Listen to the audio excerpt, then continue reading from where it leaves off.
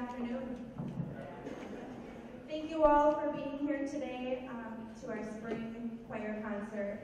Um, such a beautiful day outside, so thank you for joining us.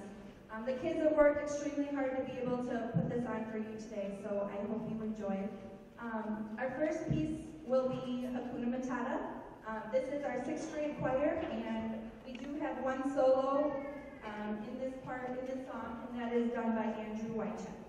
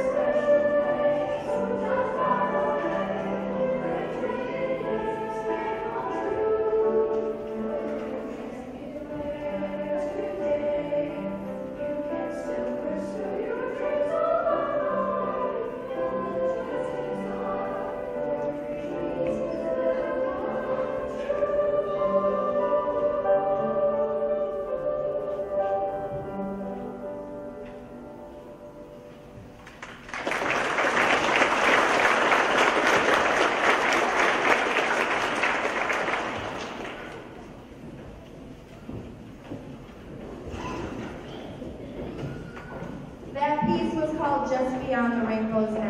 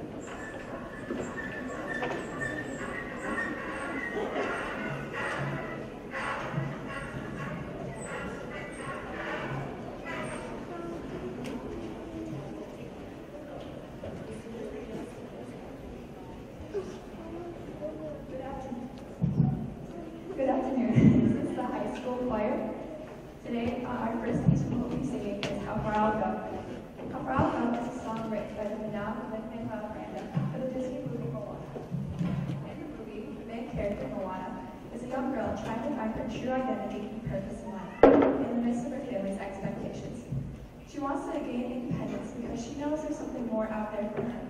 And drop us off. She goes back and forth between options of staying home and ruling her village, or going beyond the boundaries to find even better things. Everybody goes through these struggles like these in, in our lives, especially in our teen years, so we were able to relate to it very well. We had fun learning and relating to this career upbeat too, and we hope you'll enjoy it.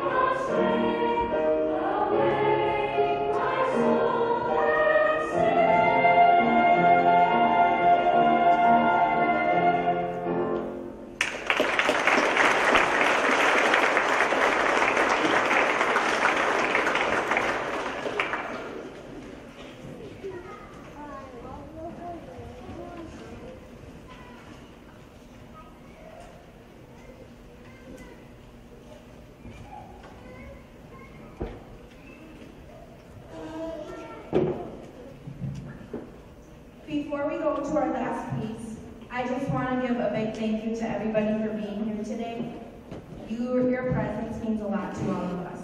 Um, I know this is only probably a one-hour program, but a lot of hours go into today's preparation for today's event. So please know that we appreciate it. Um, and I also just want to say thank you to everybody for being so great my first year here at Columbus. It truly is one big family. So thank you all. I appreciate it.